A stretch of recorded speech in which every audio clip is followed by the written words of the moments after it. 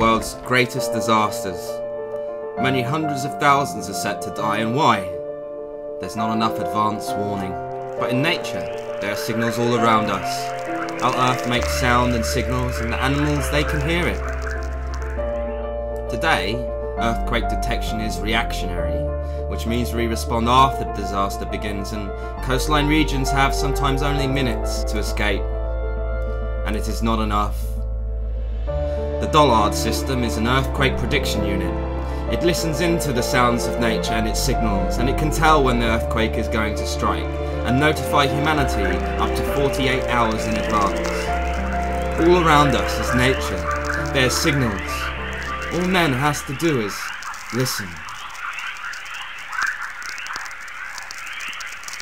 This whole thing took 10 years to build, where you could get into the frequencies that you couldn't hear through a heterodyning process and then, then analyze them on an acoustical level where they're up in the high frequency, only the dogs hear, they can bring them down into where you can hear, and then you can, you can start to hear the dynamics of this electrical process that builds before an earthquake start at the frequency ranges of its origin uh, occur even longer before the earthquake. So there's a whole like week-long process that possibly is uh, developing here. Unfortunately, upon completion of this whole system, it was taken away from me.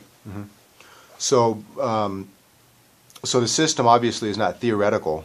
You've done it. You know how to do it, and you're in the process of uh, getting everything together. And as a matter of fact, the uh, you already have governmental approval uh, to do this system on government land again. Right.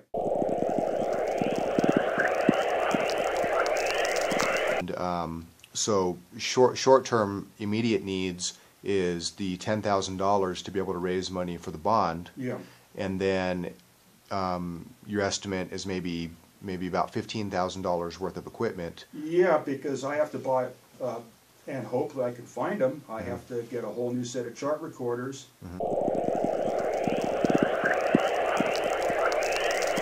The municipality itself is supporting our project along with the federal government, which is basically unheard of situation.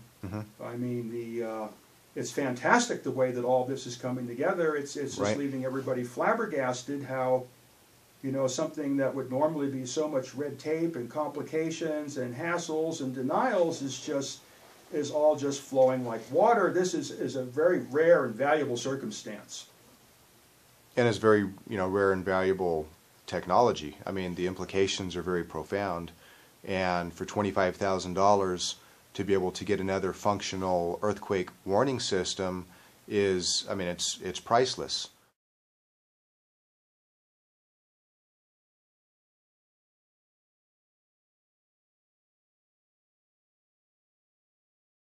Uh, the, the telluric signals that are associated with the earthquake will not propagate more than about 150 miles, Okay. which is good because that way then you're not confused by you know mm-hmm. something happening off in the distance. Mm-hmm. So you can build a network of stations in a 150 mile sided triangle mm-hmm. then and determine the situation. But the beverage antenna not the underground antenna, but the overground antenna will pick up the reflections of the, the earth becomes so intensely active electrically that the waves refract through the surface of the earth, refract through the ionosphere, and will come back down to distant locations. And this is what's happened with the Japan earthquake. Unfortunately, uh, we lost the station immediately afterwards, and all the records were lost. The story of Eric Dollard's life, but uh, but I can recount what had happened, and the uh, the county board of supervisors uh, was there to see it also, so there must be some record of it somewhere in San Bernardino. They took pictures of, of the deal as the the overground electrical activity chart went off the scale uh, one hour before the precursor earthquake happened in Japan.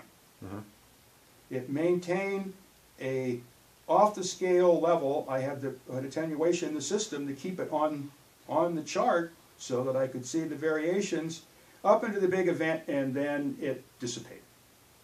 Now the one that happened in Mexico, which was closer to the station, uh, did the same thing, and that actually is recorded on the station log chart hanging on the wall outside, and I can show that.